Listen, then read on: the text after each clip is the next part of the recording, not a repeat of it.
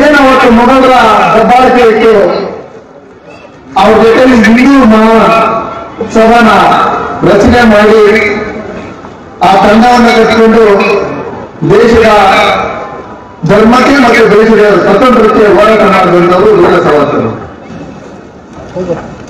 ಅಂಡಮಾನ್ ನಿಕೋಬಾರ್ ಎಷ್ಟು ಜನ ನೋಡಿದ್ವಿ ಕೈ ಎಷ್ಟು ನೋಡಿ ಕೈ ಅರ್ಧ ಫುಲ್ಲು ನಿಮ್ಮೆಲ್ಲ ನೋಡಿದ್ವಿ ಬೆಳಗ್ಗೆ ತಕ್ಷಣ ನಮ್ಮ ಮನೆಯಲ್ಲಿ ನಮ್ಮನ್ನ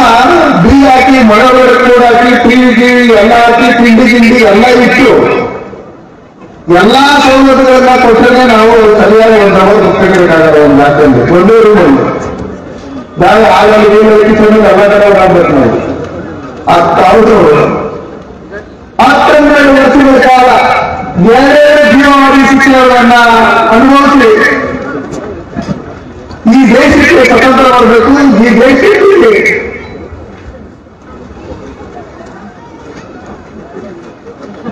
ಏನು ಅವತ್ತು ಮೊಘಲರ ದಬ್ಬಾಳಿಕೆ ಇತ್ತು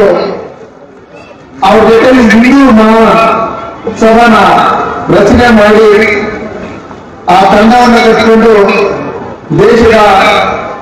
ಧರ್ಮಕ್ಕೆ ಮತ್ತು ದೇಶದ ಸ್ವತಂತ್ರಕ್ಕೆ ಹೋರಾಟ ಮಾಡಬೇಕು ಅವರು ಸವರ್ತರು